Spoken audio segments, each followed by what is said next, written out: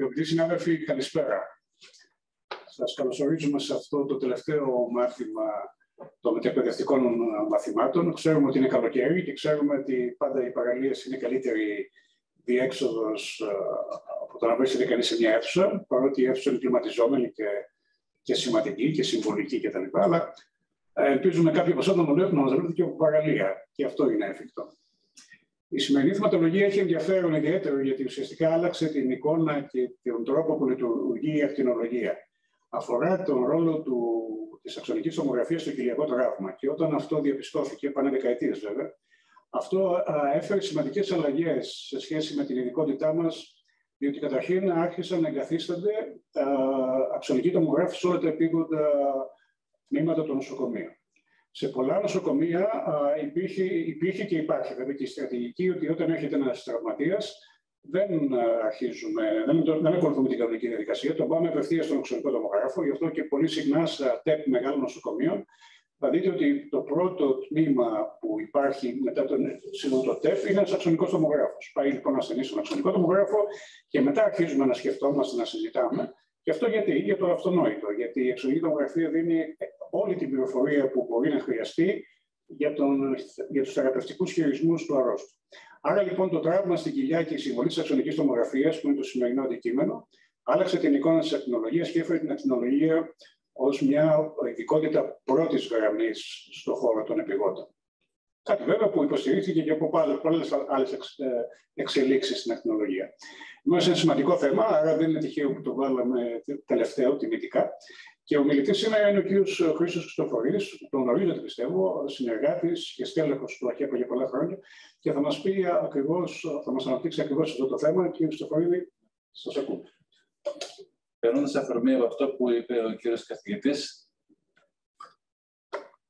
θα πω ότι η πρώτη ε, προσπάθεια για αντιμετώπιση των ασθενών συντηρητικά και όχι χειρουργικά, ξεκίνησε το 1893 από έναν χειρουργό ονόματι Έτλερ, ο οποίος είχε κάνει μια μεγάλη σειρά δεκαετικών του ασθενών, γύρω στους 700 και, και από αυτούς ε, τους αντιμετώπισε συντηρητικά. Και από αυτούς ε, ε, ένα μεγάλος αριθμός, 180 και, ε, ε, είχαν, είχαν επιβιώσει. Ήταν ο πρώτος που είχε γράψει για την ε, συντηρητική αντιμετώπιση. Το, η εργασία του βέβαια δεν, δεν έτυχε την απαραίτητη προσοχή, αγνοήθηκε. Για 8 δεκαετίες κυριάρχησε η χειρουργική αντίληψη ότι όλοι, όλοι οδηγούνται στο χειρουργείο. Τα αποτελέσματα βέβαια δεν ήταν εξαιρετικά και έτσι μετά από 8 περίπου δεκαετίες άρχισαν πρώτα οι παιδοχειρουργοί να, να, να ξανακοιτάνε το θέμα της συντηρητική αντιμετώπισης, η οποία διαρκώς πλέον κερδίζει έδαφος, υποβοηθούμενη πολύ σημαντικά από τους σύγχρονους εξωτερικούς τομογράφους που πραγματικά δίνουν πάρα πολύ καλές ε, εικόνες και πάρα πολύ καλές πληροφορίες. Αυτά σαν μια εισαγωγή.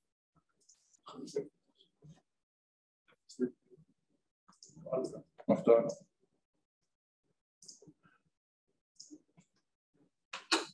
Σήμερα θα μιλήσουμε για την μελέτη του τραύματος κοιλίας με την αξονική τομογραφία. Γενικά, λίγα πράγματα για το τραύμα. Ε, είναι η πρώτη αιτία θανάτου σε ηλικίε κάτω των 40. Στις ΗΠΑ καταγράφονται περίπου 50 εκατομμύρια τραυματίες ετησίως, με ένα ποσό 30% πολύ σημαντικό να ε, νοσηλεύονται σε μονάδες εντατική θεραπείας. Το κόστο φροντίδας είναι ασύλληπτο. Μόνο για το 2007 το Εθνικό Συμβούλιο Ασφάλεια των ΥΠΟ το είχε υπολογίσει σε 684 δισεκατομμύρια δολάρια. Όσον αφορά τους ασθενείς που καταλήγουν, η απώλεια ισοδυναμεί με 5,1 εκατομμύρια έτη ζωής ή 34 έτη ένα άτομο. Πολύ σημαντικά νούμερα. Συγκριτικά το κόστος ανακαρκυνοπαθή ή καρδιοπαθή είναι μικρότερο. Ε, εδώ ένα πίνακα με μερικούς ορισμούς για τα είδη τραυμάτων, ανοιχτό κλειστό τραύμα, εκδορά, τριβής, θλαστικό τραύμα, νήσον τραύμα, τραύμα διοπυροβόλου όπλου, τυφλό, διαμπερέ και συντριπτικό, περνάμε στο τραύμα κοιλίας. Όπως είπαμε, ότι το τραύμα είναι η κύρια αιτία θανάτου για τι ηλικίε κάτω από 40 και το τραύμα κοιλίας συμμετέχει με ποσοστό 10% στο συνολικό νούμερο.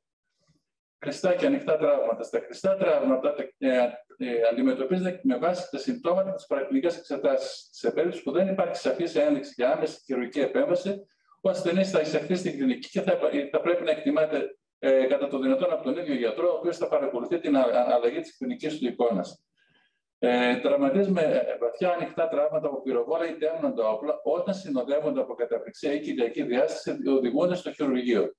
Ε, εδώ θα κάνω μια μικρή παρένθεση και θα πω ότι ακόμα και τραυματίες με, με ανοιχτά τραύματα δεν οδηγούνται πλέον όλοι στο χειρουργείο. Ε, Ένας αριθμός αυτό που θα αξιολογηθεί ότι, ότι είναι αιμοδυναμικά σταθεροί και δεν κινδυνεύουν άμεσα, ε, μπορεί να πραγματικά να αντιμετωπιστεί και αυτό συντηρητικά. Αυτό που απλώς γίνει μια επιφανική σειραφή του τραύματος.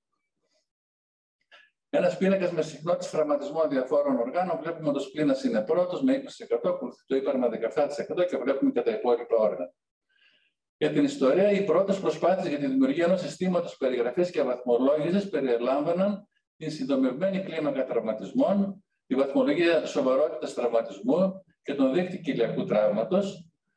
Στα τέλη της δεκαετίας του 1980, η Αμερικανική Εταιρεία για τη Χειρουργική του Τραύματος σημάτισε μια επιτροπή από ειδικούς πολλών ειδικοτήτων για να δημιουργήσει μια πιο ολοκληρωμένη ταξινόμηση. Οι πρώτες κατευθυντήριες γραμμές που, δημοσι... ε, που δημοσιεύτηκαν το 1989 ταξινομούσαν τρία κυρίως όργανα, το, το σπλήνα, το ύπαρ και, τον, και τους νεφρούς. Η βαθμολογία αυτή αναθεωρείται τακτικά. Η τελευταία αναθεώρηση έγινε το 2018 και έχει σωματέσει το, το ψευδοανέβρισμα και το αρτηριοφοβικό σιρήγγι στα κριτήρια απεικόνησης. Αρχικά δεν είχαν αξιολογηθεί ιδιαίτερα αυτές οι δύο καταστάσεις. Τώρα όμως ε, πλέον ξέρουμε ότι παίζουν σημαντικό ρόλο. Δεν είναι καθόλου σπάνιε όπως πιστευόταν. Είναι, βρίσκονται σε ποσοστό περίπου 1% ε, τραυματισμών σπληνό και ύπατος και αν ε, αγνοηθούν μπορούν να έχουν σοβαρές παρενέργειες. Μέχρι και ρήξη σπληνό έχει καταγραφεί από, ε, από ένα απλό ψευδοανέβρισμα, από απλό καθόλου απλό βέβαια. Ε, εδώ είναι 32 διαφορετικές βαθμολογίες τραυματισμών από την Αμερικάνικη Εταιρεία Χειρουργική του Τραύματος, ε, ο οποίος μάλλον θα εμπλουτιστεί και περαιτέρω και θα περιλάβει ε, και, και άλλα όργανα. Βλέπουμε ότι εδώ λείπει η αορτή. Ε, Ένας ακόμα πίνακας με μερικές άλλες από τις ε, υπάρχουσες βαθμολογίες και κλίμακες και χρονίμια διαλογίε, γιατί βέβαια δεν, δεν είναι μόνο η, η AAST που υπάρχει και θα το δούμε και, και παρακάτω. Η απεικόνηση του κοιλιακού τραύματο μπορεί να χρησιμοποιήσει όλα τα διαθέσιμα απεικονιστικά μέσα, από απλές ακτινογραφίε μέχρι και μαγνητική τομογραφία. Η αξονική τομογραφία είναι εξέταση εκλογής με υψηλή ευαισθησία και ειδικότητα, ειδικά η σύγχρονη αξονική τομογράφη που είναι και πάρα πολύ γρήγορη. Αυτό παίζει το ρόλο του γιατί ο ασθενής, ο πολυτραυματίας, ο, ο βαριάς, με, με βαριάς κακώσει, ε, ο παράγον χρόνος δεν είναι καθόλου ουδέτερος. Η αξονική τομογραφία τελειώνει πλέον ουσιαστικά σε δευτερόλεπτα ή λεπτά. Σήμερα υπάρχει μια τάση για συντηρητική αντιμετώπιση του αμβλέου κοιλιακού τραύματος σε περισσότερο από 50% ε, των τραυματισμών του σπινός, στο 80% των τραυματισμών του ύπατο. Και σχεδόν σε όλους τους νεφρικούς τραυματισμούς υπάρχει συντηρητική αντιμετώπιση. Και γιατί αποδείχθηκε ότι οι ασθενείς είχαν καλύτερη έκβαση σε μακροχρόνια βράση όσον αφορά τη διάσωση των σπτάκματο. Οι ασθενείς που οδηγήθηκαν σε χειρουργείο είχαν περισσότερες μεταγγίσει και περισσότερες επιπλοκές από ασθενείς που αντιμετωπίστηκαν συντηρητικά. Γι' αυτό καταβάλλεται κάθε δυνατή προσπάθεια ώστε όταν, όσο είναι εφικτό να μην οδηγηθούμε σε χειρουργείο. Ακόμα και όταν έχουμε ανοιχτές αιμορραγίες, να, να γίνει εμβολισμός και να μην οδηγηθούμε σε χειρουργείο. Όπου είναι φυσικά εφικτό. Εδώ το πρωτόκολλο αντιμετώπιση ε, θα πάρουμε αρτηριακή και φλεβική φάση οπωσδήποτε και σε πολλές περιπτώσεις ε, παίρνουμε και καθυστερημένη σάβραση από 3 με 5 λεπτά για να αποδείξουμε την ε, εξαγγείωση από ενεργό αιμορραγία ή από άλλες αγκιακέ κακώσεις όπως τα μετατραυματικά ψευδανευρίσματα και τα μετατραυματικά αρτηριοφυλακώδη σιρήγγι. Θα δούμε παρακάτω χαρακτηριστικές εικόνες. Τώρα το θέμα τι γίνεται με την υπερακτινοβόληση και τη μεγάλη κατάχρηση που γίνεται στις μέρες μας. Το 2000 υπήρχε μια μελέτη από το Πανεπιστήμιο της Κολούμπια με τους ομάδα του Μπρένερ και είχε, πει ότι, ε, είχε δείξει ότι ένας στους 1200 ε, ασθενείς που θα λάβει στην ε, αξονική τομογραφία κοιλίας και κεφαλής κινδυνεύει στη ζωή του από την ανάπτυξη θανατηφόρου κακοίδες. Τρομερό το νούμερο. Βέβαια, με τους σύγχρονους τομογράφους και τις καινούργιες αισθητήρες που χρησιμοποιούν, τα πράγματα, τα πράγματα σαφώς έχουν βελτιωθεί, όμως έχει αλλάξει ο αριθμός των αξονικών που ζητιώνται. Είναι πολύ περισσότερες. Και κάποια στιγμή θα πρέπει η ιατρική κοινότητα συνολικά να αντιμετωπίσει το θέμα. Η εξονική τομογραφία χρησιμοποιείται όλο και περισσότερο και στο διδυτρένο τραύμα, το οποίο παραδοσιακά εξοργούν χειρουργικά. Και τέλος ε, θα αποφασιστεί με τη βοήθειά της και ποια ασθενεί δεν, δεν θα χρειαστεί να παραμείνουν και περαιτέρω αντιμετώπιση. Τα ευρήματα που θα πρέπει να αναζητηθούν στο κοιλιακό τραύμα. Έχουμε τις ρήξεις, είναι γραμμοειδείς υπόπυκνε κλάβε. Ε, μπορεί να είναι απλές γραμμοειδείς κακώσει ή, ή διακλαδιζόμενες. Θα δούμε παρακάτω και άλλες εικόνες. Εδώ έχω περιλάβει τέσσερα όργα, ύπαρ, σπλήνα, νεφρό και πάγκρας. Ε, και ε, αυτές οι βλάβες φτάνουν μέχρι την κάψη του οργάνου. Εάν δεν φτάνουν στην κάψα του οργάνου, τότε μιλάμε για ε, απλές κλάσεις, γνωστέ ω νυχέ αρκούδες, είναι burst hyperlaceration, είναι υπότυπος κατά κάποιο τρόπο του ρήξου. Εδώ έχουμε την, την αιμορραγική θλάση, σε έδαφος μιας θλάσης του ύπατος, ε, έχουμε ενεργό εξαγγείωση. Εδώ ε, δύο εικόνες με υποκάψη αιματώματο, το ένα με ημινοειδέ σχήμα, το άλλο με φακοειδές σχήμα στο σπλήνα. Είναι προφανές ότι το φακοειδές είναι το σχήμα όταν υπάρχει μεγαλύτερη ε, συγκέντρωση υποκάψιου υγρού, δηλαδή ένωση. Ένα ε, πανεχηματικό αιμάτωμα ή μόλοπα ε, είναι περιγεγραμμένη η υπόπικνη βλάβη χωρίς διακριτή ενεργό εξαγγείωση. Και λέω διακριτή γιατί υπάρχει προφανώς εξαγγείωση, αλλά είναι από πολύ μικρά ε, τροφοφόρα οικεία, ε, τα, τα οποία δεν, δεν, δεν θα απεικονιστούν. Ε, και το χαρακτηριστικό είναι ότι δεν έχουμε καθόλου κακώσει μεγάλων εγγύων. Δεν έχουμε κάκωση ε, ε, κλάδων της υπατικής αρτηρίας και δεν έχουμε κάκωση της υπατικής ε, της φλέβας. Αυτό έχει το, έχει το ρόλο του. Περιοχές με, με υποαιμάτωση και απαγγείωση. Εδώ έχουμε απαγγείωση ενός τμήματος λόγω καταστροφής κλιματικού εγκαιακού κλάδου ή και ολόκληρου του δεξιού λογού και ενδεχομένως και ολόκληρου του ύπατο όταν έχουμε κάκωση του εγκαιακού μίσου. Δύο εικόνες με ενεργό εξαγγείωση. Αυτό που θα ήθελα να παρατηρήσουμε είναι ότι το εξαγγειούμενο ε, σκιαγραφικό ε, έχει τις ίδιες πυκνότητες με την αορτική. Έβαλα δύο εικόνες με διαφορετικές πυκνότητες αορτής και βλέπουμε ότι οι πυκνότητες είναι παρόμοιες. Αυτό ε, όταν το δούμε θα πρέπει να το κρατήσουμε στο μυαλό μας. Εδώ εικόνα με αίμο περιτόνιο. Βλέπουμε ότι το, το υγρό που κυριαρχεί μέσα στην, στην περιτονική κοιλότητα έχει σαφώς υψηλές πυκνότητες και μπορούμε να το επιβεβαιώσουμε με πυκνομετρήσεις Χάουσον. Και εδώ εικόνα ελεύθερα αέρα ενδοκυλιακά που θα συνειδητοποιηθεί που στο ανώτερο σημείο του ασθενή που είναι σε ήπια θέση, δηλαδή στο, στο ε, πρόσωπο κοιλιακό τείχο. Περνάμε στο ύπαρ. Στο κοιλιακό τραύμα του ύπαρ είναι το δεύτερο και στην τέσσερα εμπλεκόμενο συμπαγές όργανο στην κοιλιακή χώρα μετά το, ε, μετά το σπλήνα. Ωστόσο, ο τραυματισμός του ύπατο είναι η πιο συχνή αιτία θανάτου. Και αυτό οφείλεται στο ότι υπάρχουν πολύ σημαντικά εγγύα όπως η κάτω κύλη φλέβα, οι πατικές φλέβες, η πατική αρτηρία και η φυλαία φλέβα. Είναι σημαντικό να θυμόμαστε, να θυμόμαστε ότι το πίστευμα του το δεξιού λόγου του ύπατο είναι το πιο συχνά τραυματιζόμενο τμήμα από αυτό, αυτό το τμήμα περιλαμβάνει και την ακάλυπτη από το περιττόνιο περιοχή και έτσι μπορεί να οδηγηθούμε σε μια οπισθοπεριτοναϊκή αιμορραγία αντί για ενδοπεριτοναϊκή. Περνάμε στην ταξινόμηση των κακώσεων του κατά την Αμερικάνικη Ένωση Εταιρεία Χειρουργικού του Τραύματο. Εδώ το σχήμα με τους πέντε βαθμούς. Ε, εδώ η ανάλυση των πέντε βαθμών. Και βλέπουμε ότι η βαθμολόγηση αξιολογεί το υποκάψιο αιμάτο με την έκτασή του, την παρχηματική ρήξη, το βάθος αυτής, το ενδοπαρχηματικό αιμάτο με τη διάμετρό του, ε, το, τον αγκιακό τραυματισμό με ενεργό ενδοπαριχηματική αιμορραγία ή ενεργό διαφυγή εκτό του οργάνου, κακώσει μεγάλων αγγείων, καταστροφή τμήματων του οργάνου ή και ολόκληρου του ύπαρου. Ε, εδώ θα προσθέσω ότι ειδικά στο ύπαρ και μόνο στο ύπαρ υπάρχει και έκτος βαθμός, που είναι η, η καταστροφή του ύπατος, η μη συμβατή με τη ζωή, και γι' αυτό βέβαια δεν έχει και ιδιαίτερο νόημα να την, ε, να την καταγράψουμε. Κατά τα άλλα, όλες οι ταξινομήσεις ε, αυτής της ε, κατηγορία είναι ε, τη κλίμακα των 5 βαθμών. Μόνο στο ύπαρ που είναι μονό και πολύ σημαντικό όργανο ε, υπάρχει και έκτος βαθμός, αλλά συνάδει με το θάνατο του ασθενή. Ε, για κάθε. Ε, ε, για πολλαπλούς τραυματισμούς θα προσθέσουμε ένα βαθμό με, επιπλέον μέχρι το βαθμό 3. Τώρα, τα απεικονιστικά ευρήματα σε, με εξονική τομογραφία σε τραυματισμό του ύπατος είναι αυτά που βλέπουμε εδώ και θα τα δούμε και με εικόνες ε, τέσσερις ε, εικόνες με ρήξη ύπατο. Μπορεί να είναι μια απλή γραμμοειδή βλάβη, διακλαδιζόμενη με διάφορα σχήματα και πάνω ότι είπαμε φτάνει στην κάψη του οργάνου. Ε, διαφορετική διάγνωση. Θα πρέπει μερικές φορές να σκεφτούμε ότι υπάρχουν μιμήσει υπατικών ρήξεων, όπως από εστιακή λιπόδιδιήτηση, από μη και αγρακτήσεις, ανώμαλες πυλές ή υπατικές φλέβες, συγγενείς βλαβώσει και σχισμένε με πυκνότητες λίπους, φαινόμενα σε βάρος από το διάφραγμα ή προπάρχοντε βλάβες εδώ θα χρειαστεί εμπειρία σε σχέση με την απεικόνηση σε άλλες φάσεις ή σε ανασυνθέσει και, επιπλέον, ε, και σε κάποιε περιπτώσει επιπλέον απεικονιστικέ εξετάσεις. Εδώ ε, έβαλα δύο εικόνες. Ε, είναι ακριβώς οι ίδιες τομές σε αρτηριακή και επιλέα φάση. Ο ασθενής έχει σαφώς μια σοβαρή ρήξη στο ύπαρ. Είναι, είναι η ίδια βλάβη, απλώς είναι σε αξονική και στεφανή ανασύνθεση. Και βλέπουμε ότι στην αρτηριακή φάση σχεδόν καθόλου ή ελάχιστα απεικονίζεται. Γι' αυτό έχει σημασία να παίρνονται σωστά οι φάσεις κατά την ε, αρχική την διενέργεια της εξέτασης. Εδώ απλές κλάσεις. Ε, εδώ τρία, τρία υποκάψια αιματώματα, τα είπαμε και πριν. Ε, Απλώς υπάρχει πέρα από το μενέδιο και το φακοειδές σχήμα και το συνδυαστικό, αναλόγως βέβαια με το πώς ακριβώς έχει γίνει κάποιος. Εδώ ένα υπατικό αιμάτωμα ή μόροπα. Καλά ορατό μόνος σε αρτηριακή φάση. Βλέπουμε στην αρτηριακή φάση η βλάβη είναι πάρα πολύ μεγάλη, αφορά όλο το δεξιό υπατικό λογό. Στην πηλαία φάση δεν φαίνεται τίποτα σχεδόν. Με μια μικρή υπόπληκτη έτσι, γραμμή εδώ πέρα, η οποία δεν, ε, δεν προειδεάζει σε τίποτα για αυτό που έχουμε δει στην αρτηριακή. Γι' αυτό και πάλι ε, τονίζω την σημασία των, των σωστών, ε, της σωστής διενέργειας των φάσεων.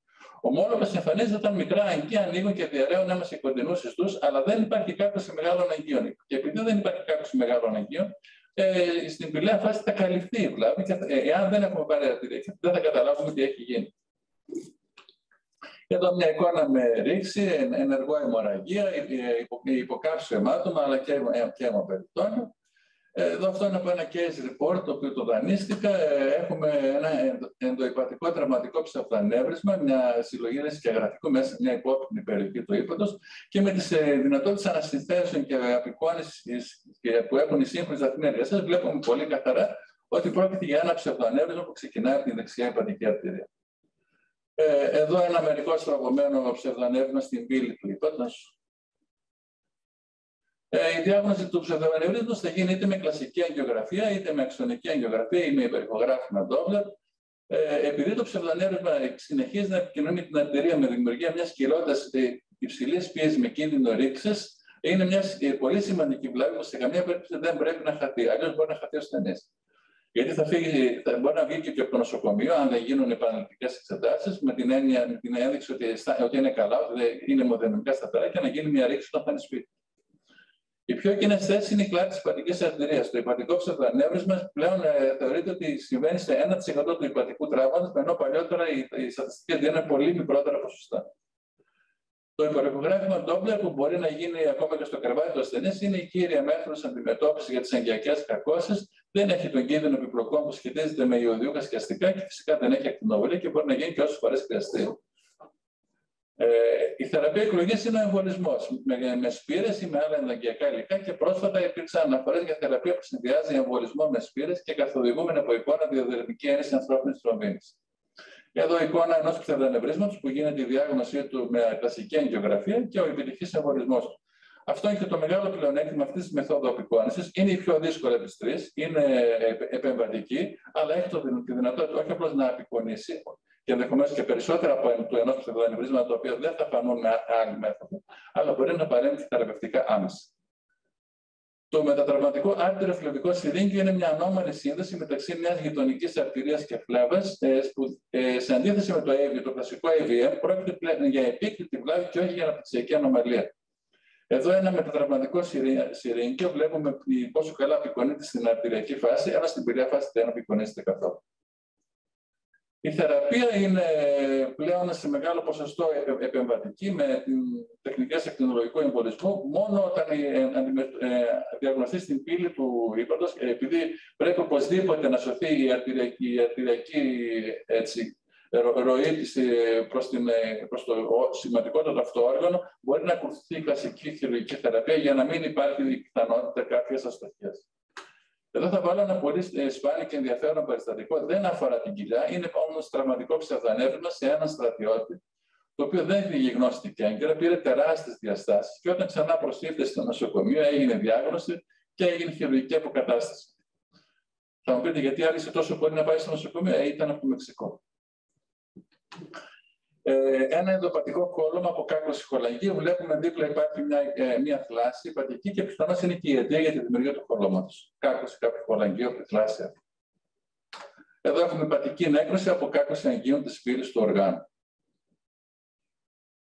Και μερικές τελευταίες παρατηρήσεις. Ιστορικά οι βλάβη του ύπατος αντιμετωπίζονταν χειρουργικά, αλλά στη λαπαροτομή διαπιστώθηκε ότι το 70% των ομαριών είχε ήδη σταματήσει την στιγμή της εγχείρησης. Αυτό ήταν και το σημείο κλειδί, το οποίο άρχισε να στρέφει πλέον και τους χειρουργούς, οι οποίοι ήταν φανατικοί του εαυτού τους, ε, στο να μην αντιμετωπίζουν πια ε, όλες τις ε, κακώσει κοιλιά χειρουργικά, αλλά να σκέφτονται και την συντηρητική θεραπεία, η οποία τώρα κυριαρχεί όλο και περισσότερο.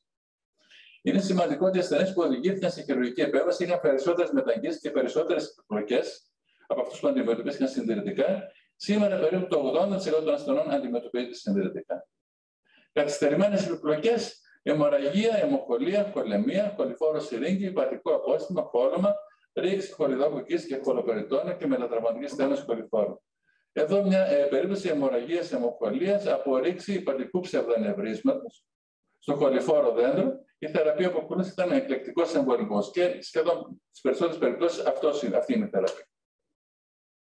Είναι μια σοβαρή επιπλοκή που αν δεν διαγνωστεί μπορεί να οδηγήσει σε, ε, σε μέλινε κενώσεις, δηλαδή απώλεια αίμα στο πλογαστεντερικό, γιατί ε, εκεί θα οδηγηθεί το αίμα που, που θα μπει στο κολυφόρο δέντρο, ε, που έχει χαμηλότερες πιέσεις, θα οδηγήσει, θα οδηγήσει στο κολυφόρο δέντρο, που εκεί θα προβληθεί με το πλογαστεντερικό. Ο ασθενή θα εμφανιστεί με, με μέλινε κενώσει και πιθανότατα θα είναι πολύ δύσκολο να γίνει μετά καθυστερημένα μια σωστή διάγνωση, γιατί μπορεί να είναι το μυαλό να μην πάει εκεί. Εδώ με τα τραυματικά αποστήματα, με δορυφόρες θλάσσε, πάντοτε υπάρχει σοβαρός κίνδυνος επιμόλυνση μιας ενό τραύματος. Εδώ ένα τεράστιο υποκάψιο κόλωμα. Και εδώ μια εικόνα με ρήξη κίστης. Περνάμε στο σπλήν. Ο σπλήνα είναι το συχνότερο τραυματιζόμενο συμπαγές όργανο. Ο βαθμός τραυματισμού αντικατοπτρίζει, όπως είπαμε, τη σοβαρότητα, καθοδηγεί στη διαχείριση και βοηθά στην πρόγνωση. Ταξινόμηση των κοκκόσεων σύμφωνα με το γνωστό σύστημα είναι ο πίνακα με τους πέντε βαθμούς, οι εικόνες αυτών των πέντε βαθμών. Εδώ η ανάλυση αυτών των πέντε βαθμών. Και αν προσέξουμε, ε, είναι σχεδόν η ίδια με αυτή που γίνεται στο ΙΠΑ. Δηλαδή, αξιολογεί και πάλι το υποκάψιο αιμάτο με την έκτασή του, την παριθματική ρήξη, το βάθος της, ε, το παριθματικό αιμάτωμα, τον αγκιακό τραυματισμό, την απαγγείωση του οργάνου και το τέλο του θερματισμό του σπληνό. Δεν υπάρχει έκτος βαθμός, γιατί ακόμα και, και χωρίς πλήν ο ασθενή ε, μπορεί να επιβιώσει, ενώ χωρίς ύπαρ δεν μπορεί να επιβιώσει. Υποκάψει αιματώματα σπληνό, ένα, με, ένα σχετικά μικρότερο με μηνοειδέ σχήμα και ένα πολύ μεγαλύτερο με φακοειδές σχήμα. Εδώ ρίξει σπληνό με αιμοπεριτόνιο, ρίξει σπληνό με ενεργό εξαγγείωση, ρίξει σπληνό με, με ενεργό εξαγγείωση και αιμοπεριτόνιο, ένα ενδοσπληνικό αιμάτωμα, ε, δύο ψευδανευρίσματα σπινός, ένα, ένα παρεχηματικό και ένα στην πύλη του οργάνου. Επίσης, δύο ψευδανευρίσματα, ενεργός αιμορραγία και αιμοπεριτόνιο. Και εδώ ε, βλέπουμε ότι το σπίνα δεν φροντίζεται καθόλου, έχει καταστραφεί ο εγκιακός μίσχο. Έχουμε, έχουμε πλήρη απαγγείωση του σπίνα και φυσικά, εάν δεν ε, λυθεί άμεσα χειρουργικά το θέμα, ο σπίνα ε, θα πάψει να υπάρχει. Ε, και εδώ θα προσθέσουμε ε, ένα βαθμό ε, για πολλαπλούς τραυματισμούς. Έχουμε επίσης τις εγκιακές κακώσεις, τα ψευδανευρίσματα και το αρτεροφλεβικό συρρήγγιο και την ενεργό αιμορραγία νηστιακή διάκριτη χειρουργίας και γραφικής ουσίας που αυξάνει σε μέγεθο σε καθυστερημένη επικόνηση. Θα δούμε εικόνες. Ε, εδώ θέλω να τονίσω ότι η ύπαρξη της πληνικού μετατραυματικού ψευδανευρίσματο αυξάνει κατά 24 φορές την πιθανότητα αποτυχίας της μη χειρουργικής διαχείρισης. Γι' αυτό είναι πολύ σημαντική η σωστή πρώτη διάγνωση. Εδώ έχουμε ένα σπληνικό ψευδανέβρισμα. Βλέπουμε τον, ε, τον εμπλουτισμό του νεφρού. Βλέπουμε ότι εδώ είναι καθυστερημένη φάση. Έχουμε περάσει σε άλλο τύπο εμπλουτισμό. Το, ψευδε, το ψευδονέβρισμα σχεδόν έχει εξαλειφθεί. Αυτό είναι και το κύριο διαφοροδιαγνωστικό σημείο. Έχουμε έκπληξη και γραφική καθυστερημένη επικόνηση. Εδώ έχουμε ενεργό εξεγγύωση. Αρχικά η εικόνα δεν ξέρουμε πού οφείλεται. Αν πάρουμε όμως καθυστερημένη ε, απεικόνηση, βλέπουμε τη διαφορά στους νεφρού, θα δούμε ότι έχει αυξηθεί σε μέγεθος και δεν έχει εκπληθεί. Άρα μπαίνει σφραγίδα ότι είναι ενεργός εξεγγύωση και όχι ψευδονεύρωση.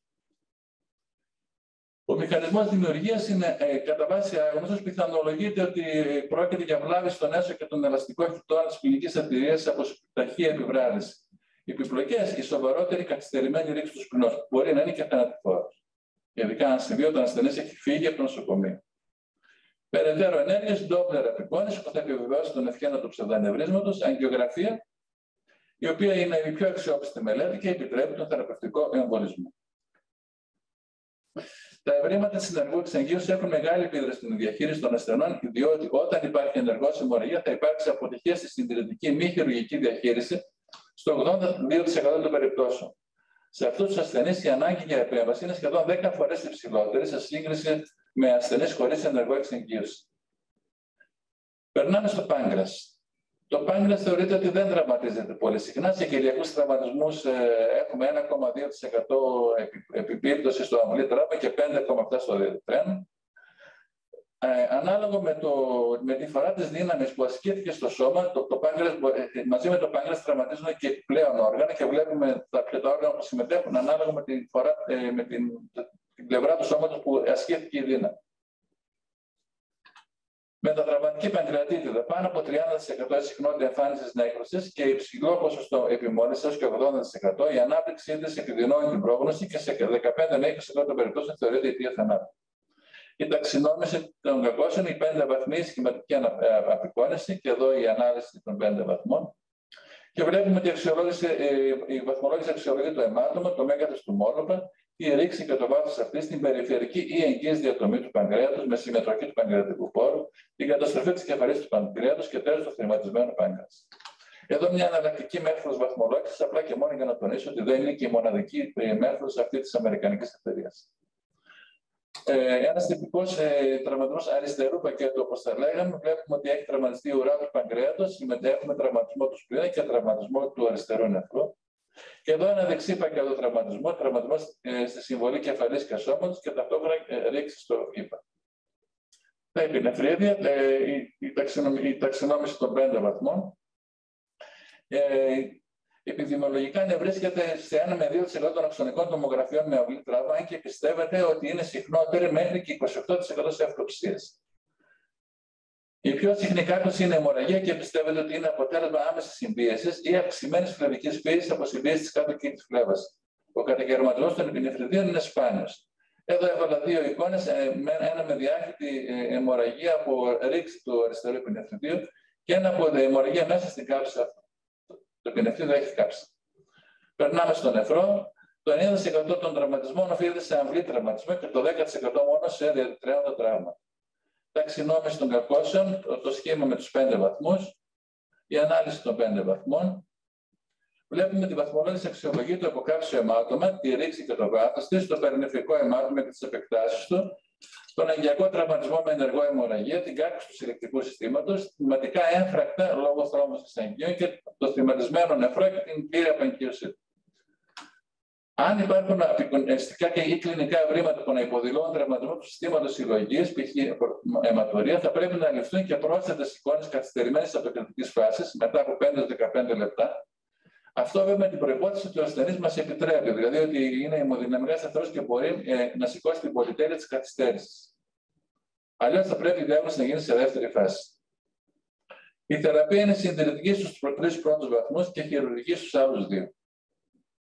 Επιπλοκές ε, στην νεφρική βλάβη βαθμού 4, όπου υπάρχει αγκιακό τραυματισμός με σε θυματική νεφρική αρτηρία, ε, θέτει τον ασθενή σε κίνδυνο άπληξη υπέρτασης λόγω μείωσης τη νεφρικής ροής του αίματος ή σε δευτερογενή υπέρταση από συμπίεση νεφρικών αγκίων που οδηγεί σε ενεργοποίηση του συστήματος ρενίνη και άγκιοτενσίνη. Εδώ μια εναλλακτική ταξινόμηση. Απεικονιστικά χαρακτηριστικά στην αξονική τομογραφία, μια εικόνα ρήξης νεφρού, μεγάλο ε, περινεφρικό αιμάτωμα κατά τη διαταραχή της αρχιτεκτονικούς στη διόγκωση του νεφρού. Ε, δύο υποκάψια αιματώματα, ένα με ε, μηνοειδές και ένα με φακοειδές σχήμα, τα οποία πιέζουν τον νεφρό. Ε, περινεφρικό αιμάτωμα στον ε, περινεφρικό λιπόδι χώρο, το οποίο ανάλογα με το μέγεθό του αρχίζει και αποθεί το νεφρό προς τα μπροστά. Και εδώ ε, ε, ε ουρίνομα νεφρό, αποκάλυψη του συλλεκτικού συστήματος και διαφυγή ούρων γύρω ε, από το νεφρό σε τραυματισμό του εγκιακού μίσχου, ε, σημεία τραυματισμού της νεφρική αρτηρίας. Βλέπουμε την νεφρική αρτηρία ε, ε, πάβει να σκιαγραφείται μερικά εκατοστά μετά την έκθεσή της. Ο νεφρός φυσικά νεφρικός δεν σκιαγραφείται καθόλου, πλην μιας μικρής περιφερικής ζώνης από την κάψα του νεφρού, που εμποδίζεται από τα αγκαία της κάψας και όχι φυσικά από την νεφρική αρτηρία η οποία έχει διακοπεί. Ε, η νεφρική φλέβα ε, ε, εμπροντίζεται άλλο παλίνδρο. Εδώ τι είναι αυτό που βλέπουμε, είναι μια νεφρική βλάβη μετά από τραυματισμό. Ε, δεν είναι γραμμική, άρα δεν είναι ρίξη. Είναι ένα μεταδραματικό θυματικό έμφρακτο. Υπάρχουν και τέτοιοι και θα δούμε το ρόλο που παίζουν. Η εξονική τομογραφία διευκολύνει τη μετάβαση προς τη μη χειρουργική διαχείριση. Το 98% των νεφρικών τραυματισμών πλέον είναι μη χειρουργικά διαχειρίσιμα. Όταν υπάρχει τραυματισμός, παίρνουμε καθυστερημένη απεικόνηση για να αξιολογηθεί το πυροκαλυτικό. Περνάμε στον ουρητήρα. Ε, η ταξινόμηση των κακώσεων σύμφωνα με την ε, γνωστή εταιρεία Εξονική τομογραφία θεωρείται η βέλτιστη επικόνηση για τη διάγνωση ρήξης του ουρητήρα, το ακριβές μέγεθος και θέση του ουρινόματο καθώς και η εξέλιξη μπορεί να εκτιμηθούν με εικόνες καθυστερημένης επικριτικής φάσης. Εδώ μια πολύ ωραία στεφανία ανασύνθεση που μας δείχνει τη, τη, τη, ρήξη του ουρητήρα και τη δημιουργία ουρινόματο, το διαφυγή των όρων. Εδώ επίσης νεφρικά ουρινόματα σε καθυστερημένη επικριτική φάση. Τα πιο κοινά συμπτώματα, ο ξαφνικός επίμονος πόνος στην κάτω κοιλιακή χώρα με έντονο περιτοναϊκό ρυθμό. Επιπλοκές, στένωση του ουρητήρα, στένωση της πύλη ουρητηρική συμβολής, περιουρητηρική κίνηση. Η πραγματική συχνότητα παραμένει άγνωστη. Περνάμε στην ορδοκοκίστη. Εδώ η ταξινόμηση των πέντε, των πέντε βαθμών. Βλέπουμε ότι υπάρχουν τρεις μεγάλες κατηγορίες: η εξωπεριτοναϊκή ρήξη, η ενδοπεριτοναϊκή ρήξη ή ο συνδυασμός. Η θεραπεία είναι χειρουργική. Ε, στην εξωπεριτοναϊκή ρήξη ροδόκου κίστη, που ε, αντιπροσωπεύει τον συχνότερο ε, τύπο κάκουση, 80 50% των περιπτώσεων, ε, είναι συνήθω αποτέλεσμα πυελικών καταγμάτων ή διατητρένων τραύματος. Η ενδοπεριτοναϊκή ρήξη εμφανίζεται σε 10 με 20% και είναι αποτέλεσμα άμεσας λήξη σε μια διαμορφωμένη με όρο κίστη. Αν υπάρχει κάταγμα πιέλου, η πιθανότητα ρήξη ροδόκου κίστη είναι 10%. Αρχικά θεωρήθηκε ότι οι ρήξει προκαλούνταν από το ίδιο το πυελικό κάταγμα. Τώρα γνωρίζουμε ότι μόνο στο 1 τρίτο των περιπτώσεων η ρήξη ροδόκου κίστη βρίσκεται στο σημείο της οστικής κάκωση ενώ τα δύο τρίτα της ρήξης συμβαίνουν στην αντίθετη πλευρά, πράγμα που σημαίνει ότι η διαφορά των δυνάμεων παίζει σημαντικό ρόλο σε τραυματισμό της οροδόκου κίστη. Εδώ μια ε, εξονική κυστεογραφία. Ε, βλέπουμε ότι συγκεντρώνεται σκιαγραφικό στον χώρο του Ρέτζιου. Υπάρχει και, και, στο, και μέσα στην οροδόκου κίστη, η οποία όμως δεν γεμίζει. Γιατί δεν γεμίζει, γιατί έχει ραγεί. Το σκιαγραφικό διαφεύγει στον χώρο του Ρέτζιου. Παίρνει αυτό το χαρακτηριστικό σχήμα που έχει ονομαστεί σημείο του νεογυλού γονθίου.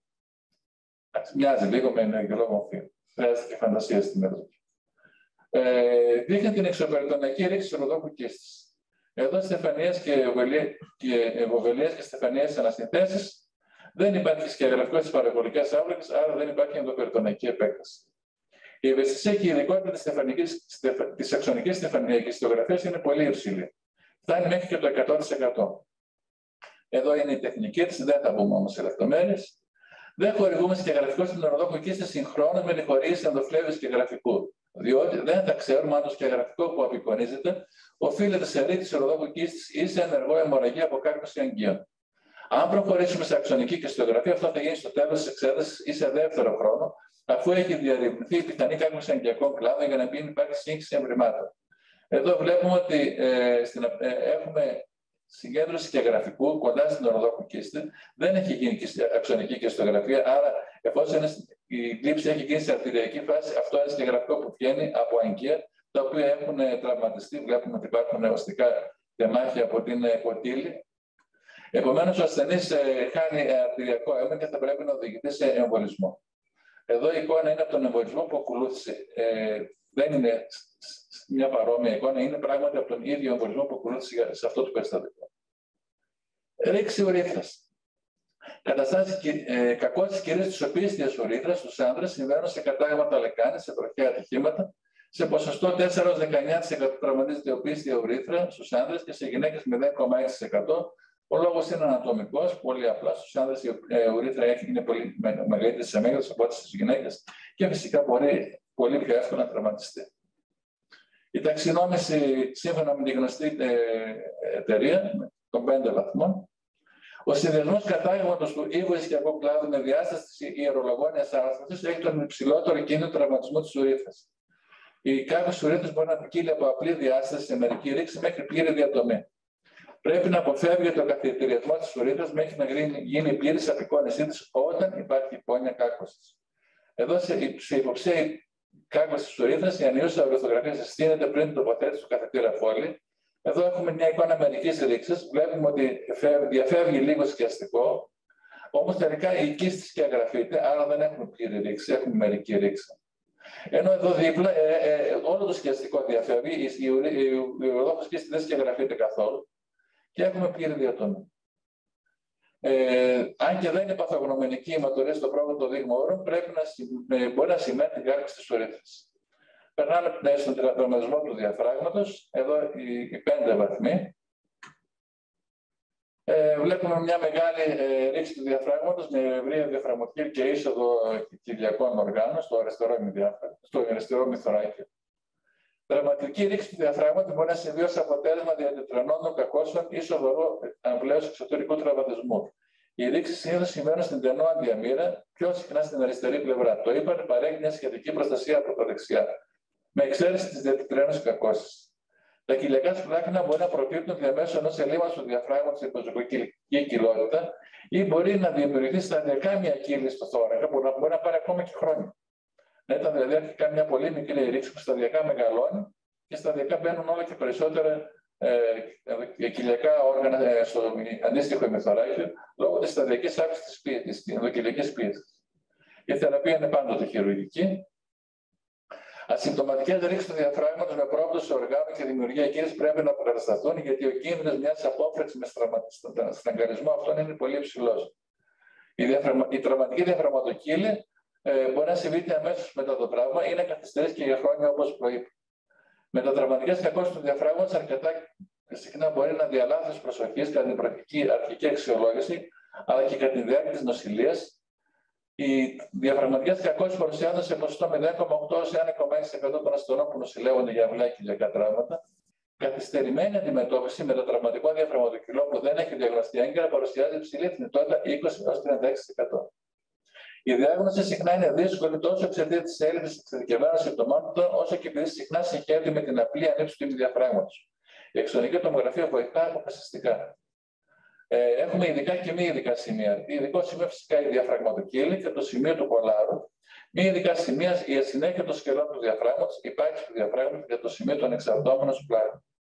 Εδώ βλέπουμε το σημείο του κολάρου, έχουμε ρίξει διαφράγματο και είσοδο στο μάγο, το οποίος παίρνει ένα σχήμα σαν 8 ή σαν κλεψίδα, ε, εδώ, αντίστοιχα, στο δεξιό ημιδιάφραγμα έχουμε ρίξει με είσοδο του ύπατος πλέον, το οποίο επίσης παίρνει σχήμα σαν 8 ή σαν κλεψίδρα.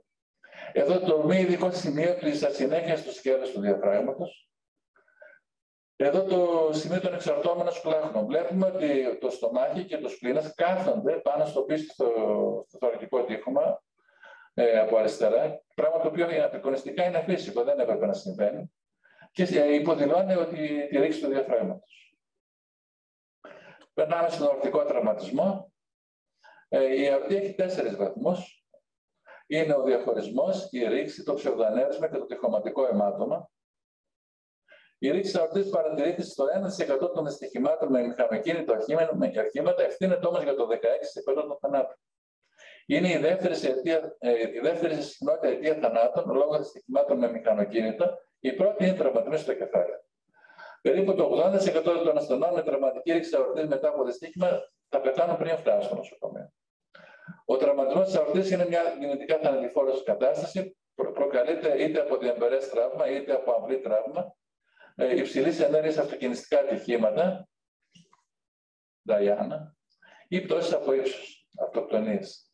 Η συχνότερη εντόπιση ευλαβών σε περιπτώσεις σε περίπτωση τραύμα αορτή είναι η περιοχή του ισθμού ή το, ή το επίπεδο του διαφράγματο, γιατί υπάρχει εκεί σχετική στερέωση και εκεί είναι η μεγαλύτερη, ε, το, το μεγαλύτερο ταρακούνι που θα δεχθεί η αόρτη.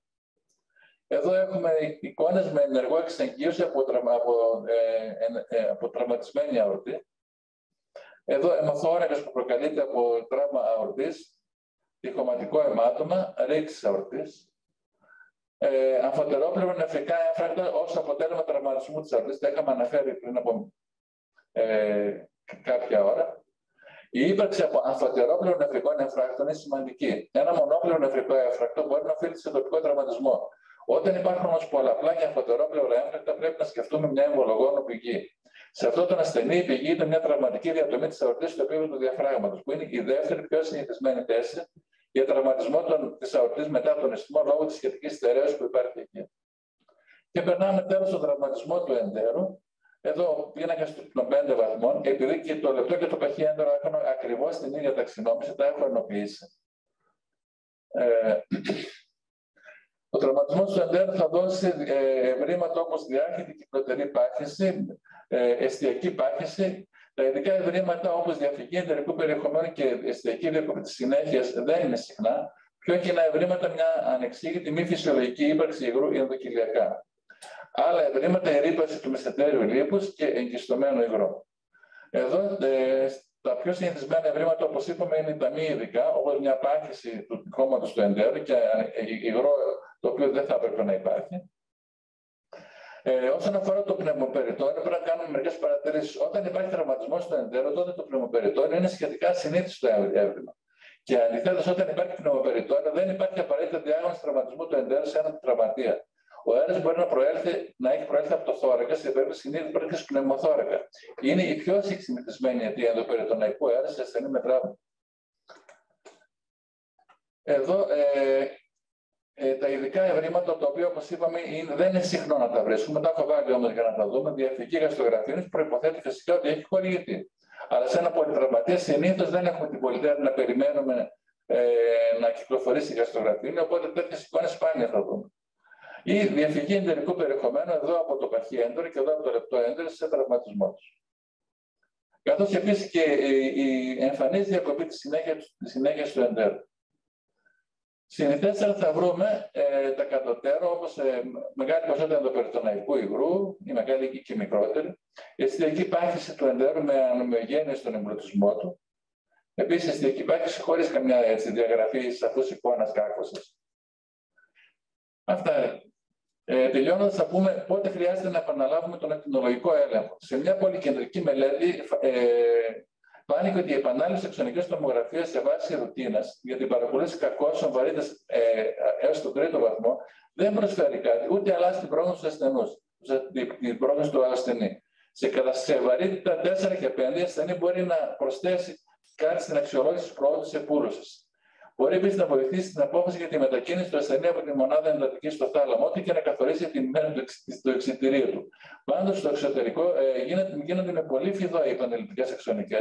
Συνήθως προτιμούν τους υπερήχους και μόνο όταν ο υπέρηχος ε, αποτύχει να δώσει απάντηση και κριθεί ότι ο ασθενής είναι μοδυναμικά ασθενής και πρέπει οπωσδήποτε να γίνει μια καινούργια απεικόνηση για να δει ενδεχομένως πράγματα που διέφυγαν στην αρχική αξιολόγηση, τότε θα γίνει ε, επαναληπτική αξονική γιατί πραγματικά εκτιμούν πάρα πολύ τον κίνδυνο της ε, ε, έκθεσης σε ακτινοβολία των ασθενών.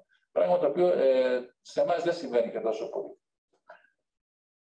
Η αποστολή μας είναι να μετατρέπουμε δυσνόητε εικόνες σε κατανοητά απορίσματα. Π.χ. να παίρνουμε μια γκουέρνικα και να τη μετατρέπουμε σε κάτι πιο κατανοητό.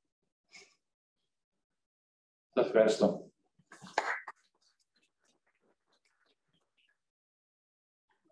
Στο Φορίδη, εμείς ευχαριστούμε. Ήταν μια πολύ καλή ανασκόπηση όλων των αιτιών ηλιακού τραύματος και των δυσκολιών που μπορεί να έχει κανείς στην ακτινολογική του προσέγγιση. Επομένως, ήταν εξαιρετικά χρήσιμο και με πολύ διδακτικές εικόνες. Υπάρχουν συνάδελφοι που θέλουν κάτι να ρωτήσουν, να σχολιάσουν, να προσθέσουν, είτε από το ακροατήριό μας, οπότε μπορούν να κάνουν unmute τον εαυτό τους και να ρωτήσουν, είτε από τους συναδέλφους που βρίσκονται στην αίθουσα. Μέχρι ότι υπάρξει κάποια ερώτηση ενδεχομένως, παρότι το αναφέρατε λίγο για να, για να το συζητήσουμε περισσότερο από, τις, ε, από το πρωτόκολλο εξέτασης, μας δείξατε τις τρεις φάσεις, αρτηριακή, πηλαία, καθυστερημένη. Θα ήθελα να ρωτήσω αν, την, αν τον απλό έλεγχο χωρίς χειραφικό θεωρείται απαραίτητο ή όχι. Και, αν, ε, και το δεύτερο σχέδιο της ερώτησης, για να μπορέσετε να το απαντήσετε όλα μαζί, ε, ε, με το δεδομένο ότι υπάρχει ακτινική επιβάρηση και πάντοτε πρέπει να είμαστε προσεκτικοί στις, ε, στις αρρώσεις που θα κάνουμε. Και με το δεδομένο ότι ειδικά στο τραύμα έχουμε πάντα και την πίεση του χρόνου. Όσο πιο γρήγορα διεκπαιρεωθεί η εξέταση και υπάρχει συμπέρασμα, τόσο πιο καλά. Εσείς υπό, υπό ποιες προϋποθέσεις θα προτείνατε να, να, να, να, να μην κάνουμε μία από τις αρρώσεις που μας είπατε. Να μην την κάνουμε καθόλου ενδεχομένως. Ή αν υπάρχουν κάποιες διεθνείς οδηγίες που θα μας κατήφθηναν σε αυτό ή αντίθετα όλα σε όλους. Ναι. Ε, ο απλός έλεγχο ε, μπορεί, μπορεί να γίνει και πρέπει να γίνει, γιατί μπορεί να μας αποκαλύψει προϋπάρχουσες ε, βλάβες ε, και, και, να χρειαστεί να γίνει συναξιολόγηση αφού ε, ολοκληρωθεί η εξέταση. Γιατί είπαμε ότι ειδικά στις ρήξει του ύπατος υπάρχουν ε, πολλές ε, εικόνες που, που μπορεί να σχετίζονται με προϋπάρχουσες καταστάσεις και να μας μπερδέψουν. Ε, όσον αφορά το αν θα πάρουμε και τις τρεις φάσεις, ε, αρχικά πίστευα ότι δεν είναι απαραίτητο. Αλλά όταν είδα από βιβλιογραφικά δεδομένα το ότι η περίπτωση του, της αγκιακής κάκωσης ολοένα και αυξάνει η βαρύτητά της, ενώ πιστεύονταν ότι ήταν πολύ πιο σπάνιες ε, και έχουν φτάσει πλέον να μιλούν για 1% των αγκιακές κακώσεις, όμως που αυτό το 1% αλλάζει δραματικά την, την, ε, την, την, την διαχείριση του ασθενούς. Δηλαδή, ε, αυξάνει κατά 54 φορές την αποτυχία της συντηρητική διαχείρισης, εάν δεν γίνει έγκαιρη διάγνωση και σωστή διάγνωση, ε, στο ένα ψευδανέρβιο του σπλήνα. Ε, ή, ή, ή, ή, αλλάζει πάρα πολύ το, ε, την, ε, τη συμπεριφορά μας απέναντι στον ασθενή και το πώς ακριβώς θα, θα τον ε, αντιμετωπίσουμε σε μια, σε μια εντατική μονάδα. Ε, πιστεύω ότι μάλλον πρέπει να γίνεται, ειδικά αν έχουμε το, την πολυτέλεια να, να, να περιμένουμε και λίγο. Ε, αν βέβαια ο ασθενής είναι πάρα πολύ βαριά, μπορεί να σταματήσουμε και στη μία σάρωση, αλλά πιστεύω ότι πρέπει να γίνεται. Νομίζω ότι είναι απαραίτητο. Δεν πρέπει να ξεφύγουν αγκιακέ κακώσεις, γιατί αυτές τελικά ε, ε, ε, καθορίζουν την, την έκβαση του ασθενή. δεν έχει σημασία το πόσο πολλά είναι τα τραύματα, δεν έχει σημασία το πόσο βαριά εμφανίζεται αρχικά ο ασθενής. Αν είναι αιμοδυναμικά σταθερό και δεν έχει αγκιακέ κακώσεις, τότε έχει πολύ ψηλή πιθανότητα να αντιμετωπίσει συντηρητικά και να πάει καλά. Εάν, ε, εάν μια αγκιακή κάκωση ξεφύγει, τότε πολύ πιθανό θα αποτύχει στην συντηρητική θεραπεία και μπορεί να μπει ακόμα και σε κίνδυνη ζωή του ασθενή. Και αυτό πλέον το τονίζουν ε, οι νεότερες μελέτες, ενώ παλιά ε, τα πράγματα ήταν πιο απλοϊκά.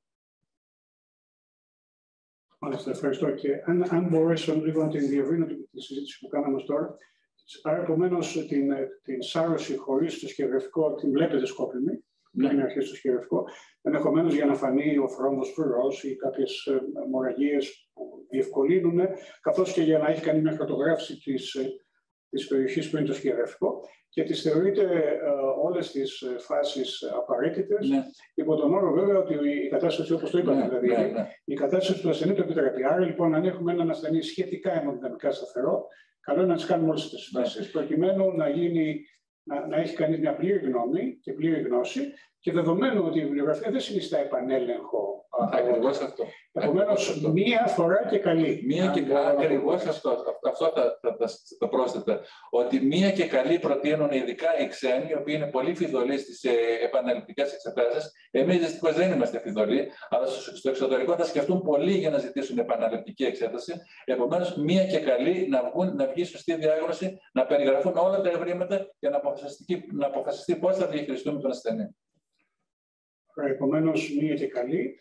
Όσο για τους επανελέγχου, ε, εδώ ισχύει ότι ισχύει και γενικότερα. Δεν κάνουμε εξετάσεις χωρίς να έχουν σαφείς ενδείξεις. Και όταν δεν υπάρχουν σαφείς ενδείξεις ή οι ενδείξεις τους δεν περιγράφονται σε, ε, σε, σε διεθνείς οδηγίες, απλά λέμε στον συνάδελφο που στέλνει την επαναληπτική εξέταση ότι δεν θα, δεν θα γίνει η εξέταση. Γιατί όλες οι επικονιστικέ εξετάσεις είτε έχουν ακτινοβολία πολύ περισσότερο, είτε και δεν έχουν ακτινοβολία, αλλά έχουν κόστος δεν πρέπει να γίνονται παρά μόνο όταν υπάρχουν σαφείς ενδείξεις. Επομένως, η επανάληψη μιας αξονική για ένα τραύμα ήπιο δεν έχει ένδειξη και όλοι μας οφείλουμε, ακόμα και σε επίπεδο εφημερίας, να λέμε ότι αυτή η εξέταση δεν έχει ένδειξη και δεν γίνεται. Έτσι, γιατί ναι. δυστυχώς έχουμε ένα μεγάλο ποσοστό εξετάσεων που στερούνται σαφών ενδείξεων.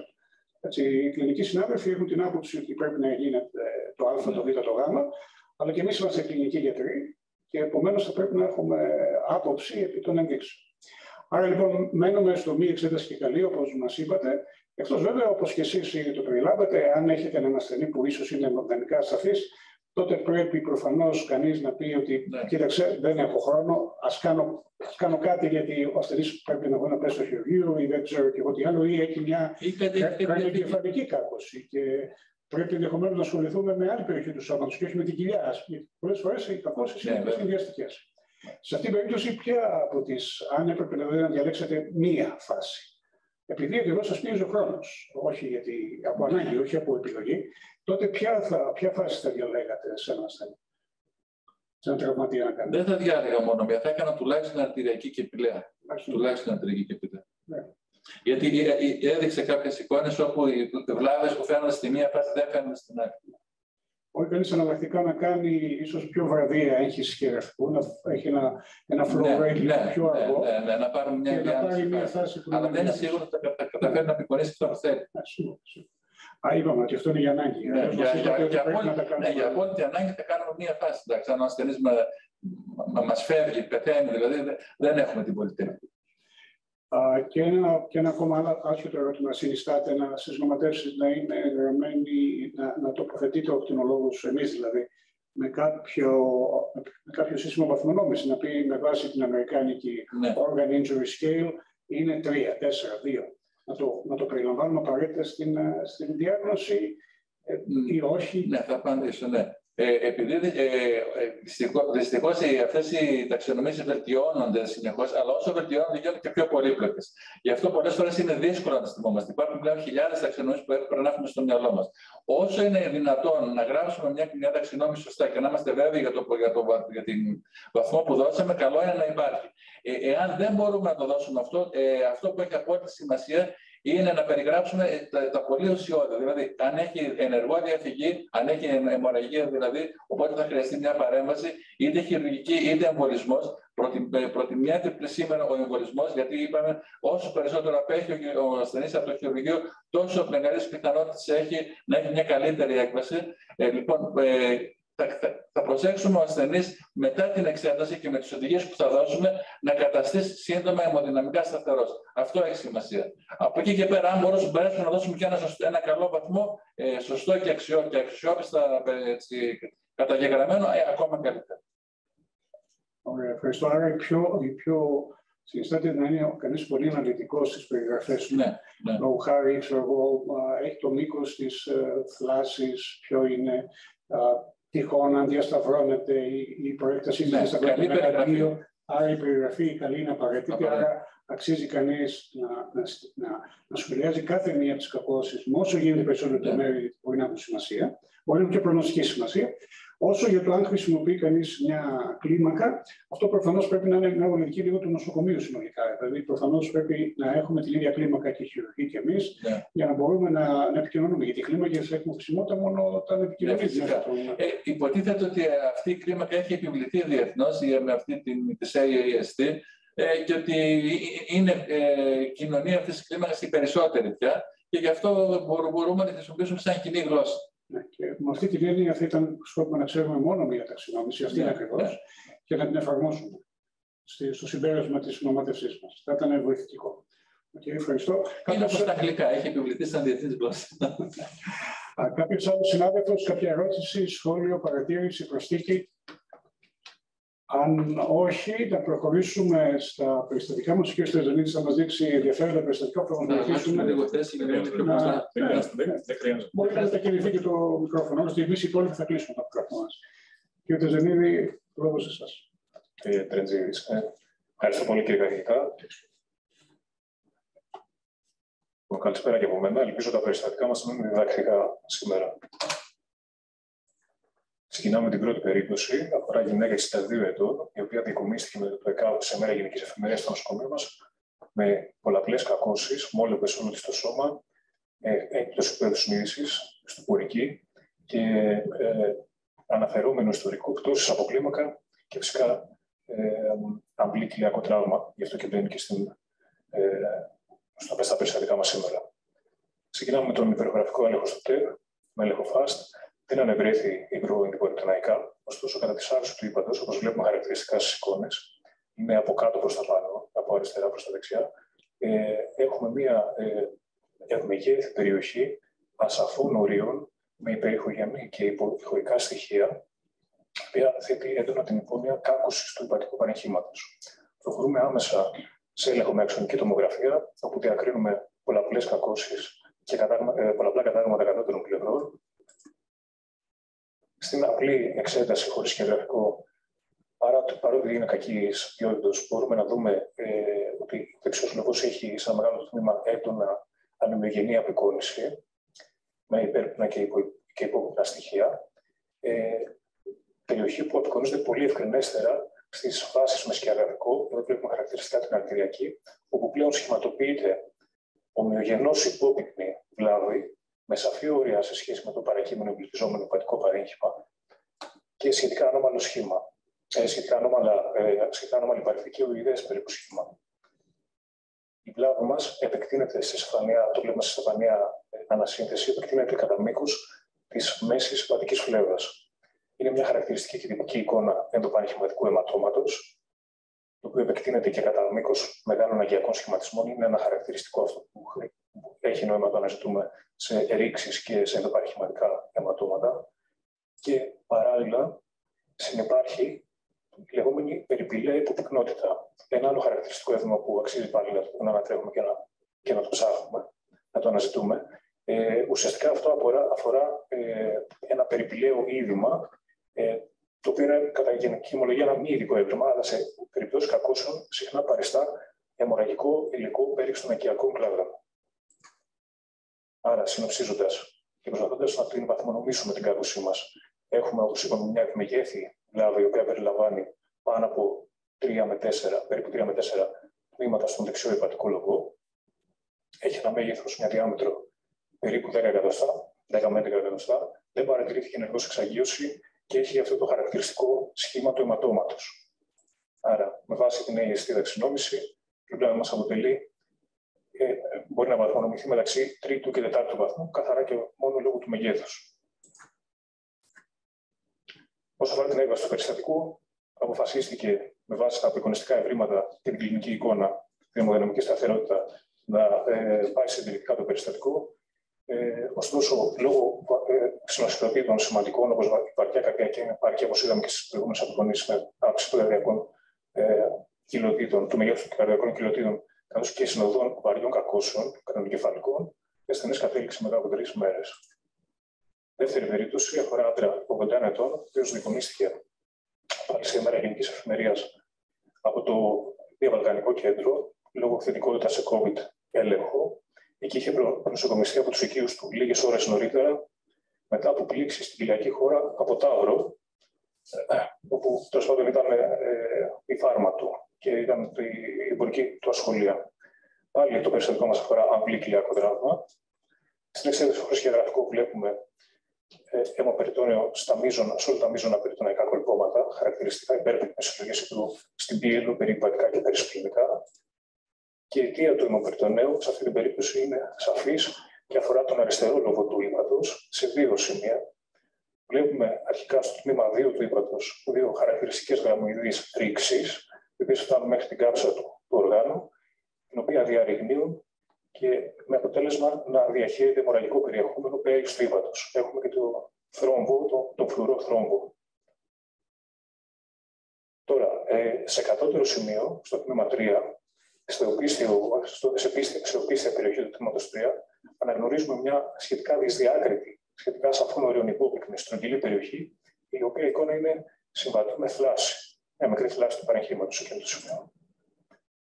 Άρα, συνοψίζοντας, έχουμε τρεις κακώσεις στον αριστερό λογό, δύο γραμμοειδείς ρήξεις, οι οποίες θεωρούνται επιφανειακές, έχουν δηλαδή ένα βάθος μικρότερο από 3 εκατοστά, εντοπίζοντας το τμήμα 2 και μια θλάση, μια μικρή θλάση στο τμήμα 3.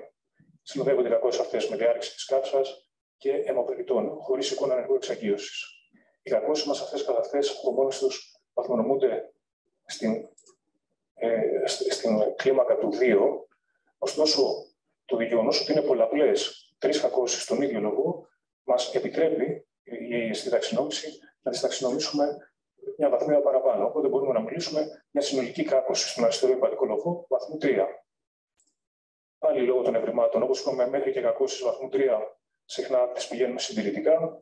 Είχαμε μια χειρητική αντιμετώπιση, συντηρητική, με μεταγγίσει όπου χρειάστηκε και άριστη μεταχειρητική πορεία. Ε, άριστη ή όχι μεταχειρητική, άριστη πορεία. Τρίτη περίπτωση, άντρα 47 ετών, σε αυτή την περίπτωση διακομίζεται σε ημέρα γενικής ε, γενικής εφημερίας με το ΕΚΑΒ λόγω ανοιχτού, ε, ε, ανοιχτού τραύματος στην κοιλιακή χώρα, στο προσεκυλιακό τείχο, μετά από σουλαδαρμό και ε, κάκωση από μαχαίρι. Άρα λοιπόν έχουμε το πρώτο διαδρένο κοιλιακό τραύμα μας. Μπορούμε να δούμε χαρακτηριστικά την πύλη εισόδου. Αριστερά πανοφαλικά υπάρχει σχισμή. Αμέσως ισοϊψό, αμέσως κάτω αυτή, μπορούμε να δούμε μια, ένα χάσμα στο πρόσθετο τείχομα με ρήξη του δεξιού ε, ορθού κοιλιακού μειός προς την λευκή γραμμή και φυσαλίδες αέρα εντός αυτού και ουσιαστικά έξοδο, ε, έξοδο επίπλου ε, προς έξω το κοιλιακό τείχομα, το οποίο χάσμα επιποματίζει αυτό το επίπλο. Από την εξέταση χωρίς γραφικό παρατηρούμε αιμορραγικό περιεχόμενο στο δουλάσιο, καθώς και διάσανα μικρά αιματώματα ε, κατά μήκος της πορείας της κακώσεως, δηλαδή στο μεσεντέριο και στο επίπλον, και ένα μικρό, ε, ε και ένα μικρό αιμάτωμα συγγνώμη, στην κύρια της ολιγόχου κίστης, παρακείμενα του, του πέμπτου τμήματος του ύπατος, πράγμα που θέτει την υπόνοια κακώσεως του οργάνου. Πράγματι, στην εξέταση με σχεδιαστικό, έχουμε πλέον μια χαρακτηριστική εικόνα σε εγκάρσια και σε ε, οβελία λήψη, μια χαρακτηριστική εικόνα ρήξης, η οποία φτάνει γραμμοειδώ μέχρι και την άλλη επιφάνεια του οργάνου, με διάρρηση της κάψας και ένα μικρό αιμάτωμα, όπως το απεικονίσαμε και προηγουμένως. Το συγκεκριμένο περιστατικό όμως, καθότι ε, περιστατικό με ανοιχτό κοιλιακό τραύμα από νήσων όργανο, έχει θέλει την υπόνοια δύο ειδών κακώσεων, οποίες είναι ο κανόνας μάλλον και όχι η εξαίρεση. Σε τέτοιους πράγματα πρέπει πάντα να τα αναζητούμε. Αυτές οι κακώσεις είναι αγκιακές τρώσει και φυσικά κάκωση του κασταντερικού σωλήνα λόγω γυτνίασης. Σε αυτή την περίπτωση είχαμε και τα δύο. Ε, αρχικά, επειδή πήραμε μόνο πηλαία φάση, ήμασταν σε θέση με τον αξιονικό δημογράφο να διατείνουμε μόνο τρώση ενός αγίου, ε, μιας φλέβας, της δεξιάς γαστροεπιλογική φλέβας, η οποία φαίνεται περιβαλλόταν από, αιμα, από αιμα, μικρά αιματώματα, είχε ε, ε, ρήπανση του μεσημέριου λύκους και, δια, και διακοπή της αγράφηση, όπου δόθηκε σε θρόμβο. Παράλληλα, και από τα εντός ακριβώς του θρομβωμένου τμήματο της φλέβας, στο το τείχομα του στομάχου εστιακά, φάνηκε να είναι παχυσμένο και υπόπυκνο. Ε, έβρεμα που, που, που ήγηρε έντονα την υποψία κάκωση και το στομάχο. Βέβαια δεν μπορούσαμε να το αποδείξουμε αυτό. Ε, σίγουρα πάντως δεν υπήρχε σημαντική ποσότητα εντοπεριτοναϊκού αέρα, αν και είπαμε ότι αυτό δεν είναι απαραίτητη προπόθεση για να μας δώσει την υπόνοια κάκωση από το στόμαχο ή το έτερο. Άρα, έχουμε σε αυτό το περιστατικό ένα συνδυασμό βλαβών, σύνθετες κακώσεις, παρεχηματική υπατική κάκωση και κακώσεις των λοιπών οργάνων, τις συνοδές. Όσο αφορά το ύπαρα, μπορούμε να το ταξινομήσουμε. Περιγραφικά είναι μια ρήξη μεγέθους περίπου 6 εκατοστών χωρίς συνεργό εξαγγείωση του τμήμα 5, με διάρκεια της κάψας και μικρό αιμοπεριτών παρακείμενα. Βαθμού 3, κατά AST. Και φυσικά οι συνοδές κακότητε, όπως είπαμε, οι οποίες είναι πολύ πιο επικίνδυνες δυνητικά, με εστιακή τυχοματική πάχυση του μείζων στόξου του στομάχου και την τρώση της φλέβας, η οποία βέβαια πιθανά να συνηγορεί και για ύπαρξη κακώσεων λοιπόν αγκιακών κλάδων παρακείμενα. Σε αυτό το λόγο, και επειδή ήταν και ανοιχτό τράπα, ε, ουσιαστικά αποφασίστηκε άμεση διερευνητική λαπαροδομία, όπου επιβεβαιώθηκαν τα ευρήματα του αξονικού τομογράφου ε, και μάλιστα με, με επιπλέον έβριμα μικρής φύζουσα αιμορραγία από περιφερικού κλάδους της δεξιάς σχολικής αρτηρίας, πράγμα που δεν φάνηκε στην πηλαία φάση του αξονικού που πήραμε εμεί. Και επιβεβαιώθηκε φυσικά και η κάμωση του τυχώματος του στομάχου σε εκείνο το σημείο ως μερική τρώση. Ε, έτσι δεν είχε πλήρη διάκριση. Το οποίο γράφτηκε, αποκαταστάθηκαν όλες οι κακώσεις και ο ασθενής ο συγκεκριμένος είχε άριστη μεταχειρητική αποκατάσταση πήρε εξοικείο μετά από 7 μέρες. Ουσιαστικά. Συντήθηκε μετά από 3 μέρες.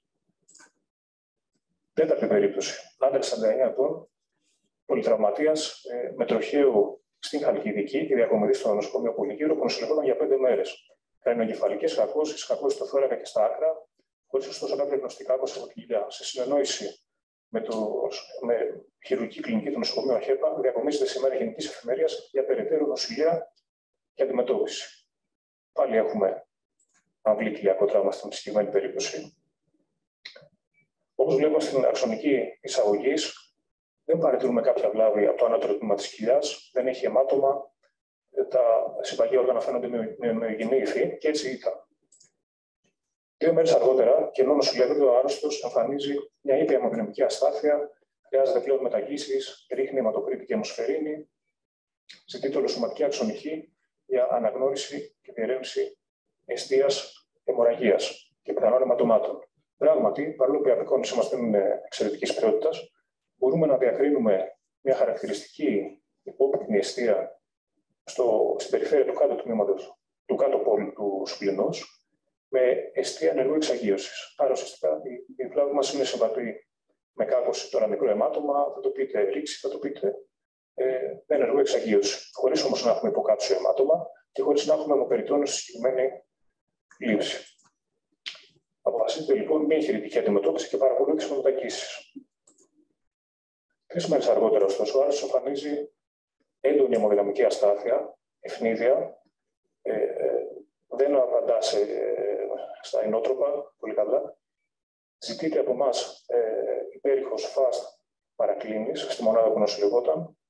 Όπου πηγαίνουμε, ε, βλέπουμε πάλι στο, στην περιοχή του κλινός, επιβεβαιώνουμε ότι, μάλλον επανελέγχουμε το ήδη γνωστό ε, αιμάτωμα παύλα κάκωση του, του οργάνου στο κάτω τμήμα του, με υπερηχογενή στοιχεία, βλέπουμε χαρακτηριστικά, αλλά στην παρούσα εξέταση, πράγμα που δεν υπήρχε πριν από τρεις μέρες, βλέπουμε και υγρό, ελεύθερο υγρό στο, στην πύλο.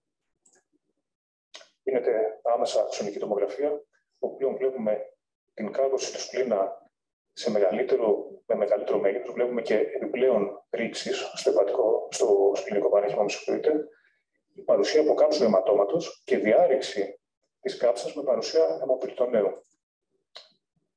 Βλέπουμε επίσης στι λήψει με σκιαγραφικό πολλαπλές γραμμοειδείς σκιάσεις που αντιπροσωπεύουν αιστείες ενεργού εξαγίωση. Άρα έχουμε μια ρήξη σπληνό με υποκάψου αιμάτωμα και ενεργό εξαγίωση ενδοπαρεγχηματικά, τουλάχιστον στην απεικόνισή μας. Αυτό καθιστά την πλάτη μας βαθμού 4 και αποφασίζεται σε συνδόση με τους χειρουργούς αγιογραφική αντιμετώπιση από το τμήμα μας την ίδια μέρα. Το περιστατικό έρχεται στον αγιογράφο. Βλέπουμε εδώ πέρα επιβεβαιώνεται μετά από κατηδιασμό της ποινικής αρτηρία η αιστεία και περιφερικότερα πολλαπλές μικρότερες αιστείες, μια μεγάλη και πολλαπλές μικρότερες αιστείες ενεργού εξαγγείωσης. Και βλέπουμε εδώ την εικόνα της αποκατάστασης μετά την, τον εμβολισμό και την τοποθέτηση coils τόσο στα περιφερικά ενδοπανεχηματικά αγία, όσο και στο κεντρικό στέλεχος της κλινικής αρτηρίας. Ω αποτέλεσμα των, των χειρισμών, έχουμε την πλήρη διακοπή της αιμορραγίας, άρα η παρέμβαση μας ήταν επιτυχής και καταφέραμε επίσης να διατηρήσουμε και βιώσιμο κλινικό παρέγχημα. Όπως βλέπουμε σε εξέταση που έγινε λίγες μέρες μετά από την απεικόνισή μας, μετά τον εμβολισμό, βλέπουμε κάποιες περιοχές τους σκληνού οι οποίοι συνεχίζουν να εμπλουτίζονται. Άρα είναι βιώσιμο παρήγγελμα. Τελευταία περίπτωση αφορά άντρα 42 ετών, έρχεται σήμερα γενικής εφημερίας με τον άλλο στην οσφή, δεξιά, μετά από πλήξη με βαρύ αντικείμενο. Οι εικόνες σε αυτή την περίπτωση είναι εντυπωσιακές. Ήδη στην χωρί χειραφού εξέταση βλέπουμε ένα πολύ μεγάλο περινεφρικό αιμάτωμα, το οποίο ουσιαστικά ασκεί και χωροκατακτική δράση στα παρακείμενα σπλάσμα και στην εξέταση με σκεγγραφικό μπορούμε να εκτιμήσουμε και να αξιολογήσουμε μια ε, ρήξη του οργάνου στη μεσότητά του από τη μία πλευρά έως την άλλη. Έχει μια εικόνα που περιγραφικά πολλές φορές ονομάζουμε σε διάφορες κακώσει του παραδειγματικών οργάνων ως κάταγμα, ε, με πλήρη απαγίωση σε εκείνο το σημείο. Για τέτοια τόσο σοβαρή βλάβη, φυσικά συνοδεύεται και από άλλο τύπου ε, σε τη βλάβες. Βλέπουμε στην αρδιακή φάση ε, δεξιά ε, ουσιαστικά ότι η περιοχή εκεί πέρα στο κέντρο είναι τελείως απαγειωμένη. Ωστόσο, ο άνω και ο κάτω πόλο του οργάνου διατηρούν πλήρη αγίωση και φυσιολογική, θα λέγαμε. Παράλληλα, δεν βλέπουμε κάποια αιστεία ε, ενεργού εξαγειώσεω. Ενώ κατά την πλέα φάση μπορούμε να αναγνωρίσουμε εικόνα θρόμβου, οξέως θρόμβου, εντός της νεφρική φλέβας. Σίγουρα σε τέτοιε κακώσεις, όπως είπαμε, κλειδί είναι η απεικόνηση του βιολογικού συστήματος, του αποχητευτικού συστήματος, γιατί αλλάζει πάρα πολύ και το βαθμό και τον ε, ανώσιο του κατηγοροποιεί στον μέγιστο βαθμό όπου χρειάζεται να. στους μέγιστους βαθμούς όπου χρειάζεται χειρουργική παρέμβαση. Λοιπόν, ε, βλέπουμε το ορόγραμμά μας στην απελευτική φάση. Ε, παρατηρούμε ότι στην περιοχή που έχει τρωθεί, στη μεσότητα, υπάρχουν κάλικες, υπάρχει μια εξαγίωση, μια, ε, μια, μια διαφυγή σχεδιαστικού από κάλικες οι οποίοι δεν φαίνεται να είναι ε, σε επικοινωνία με την ευτική διέλο. Σε μια λίγο καλύτερη λήψη φαίνεται πιο ξεκάθαρα ότι δημιουργείται ένα μικρό γρήνομα παρακείμενα της πιέλου. Οπότε, συνολικά έχουμε μια ρήξη πλήρη του οργάνου δίκη κατάγματος με το αιμάτωμα που εκπορεύεται από αυτήν, χωρίς ενεργοεξαγίωση στην απεικόνισή μας, με συμπαρματούντα την θρόμωση της νευτική φλέβας και παρουσία ουρινόματο, άρα προσβολής του αποκοιτευτικού συστήματος. η μας ταξινομείται σε βαθμό 4, χρήση χειρουργικής παρέμβασης κατά βάση. Ότι το περιστατικό διακομίστηκε άμεσα στο νοσοκομείο γεννηματάς προς περαιτέρω χειρουργική αντιμετώπιση. Δεν ξέρουμε τι ακριβώς έγινε. Ευχαριστώ πολύ. Πολύ, πολύ καλή παρουσίαση, πολύ καλή επιλογή των περιστατικών και πολύ καλή περιγραφή. Είναι κρίμα που δεν ξέρουμε τι έγινε, αλλά αυτό είναι ένα μεγάλο πρόβλημα στη συνεννόηση μεταξύ των νοσοκομείων. Αλλά η επιλογή των περιστατικών και η παρουσίασή τους ήταν εξαιρετικά διδακτική, άρα ευχαριστούμε πολύ γι' αυτό. Υπάρχει κάποιος συνάδελφος που θα ήθελε κάτι να ρωτήσει, να σχολιάσει ή να προσθέσει; Αν όχι, δεν έχουμε να ευχαριστήσουμε και τον κύριο Στοφορίδη για την πολύ καλή παρουσίαση και τον κύριο Τελενίδη για τα περιστατικά. Να ευχαριστήσουμε και όλου εσάς που ήσασταν μαζί μας όλη αυτή τη χρονιά και να ανανεώσουμε το ραντεβού μας για την επόμενη ακαδημαϊκή χρονιά, για το επόμενο φθινόπωρο, ελπίζοντας βέβαια ότι του χρόνου θα έχουμε, θα την ευκαιρία να γεμίζουμε την αίθουσα και να συναντιόμαστε εδώ, σε αυτό το χώρο, γιατί νομίζω είναι σαφώς καλύτερο να, να βρισκόμαστε κοντά και να έχουμε μια άμεση επαφή παρά να χρησιμοποιούμε μόνο τις οθόνες μας. Λοιπόν, ευχαριστούμε πολύ. Να ευχηθώ καλό καλοκαίρι σε όλους. Και βέβαια, για μια ακόμα φορά, να ευχαριστήσω τους ομιλητές μας. Γεια σας και σας ευχαριστώ.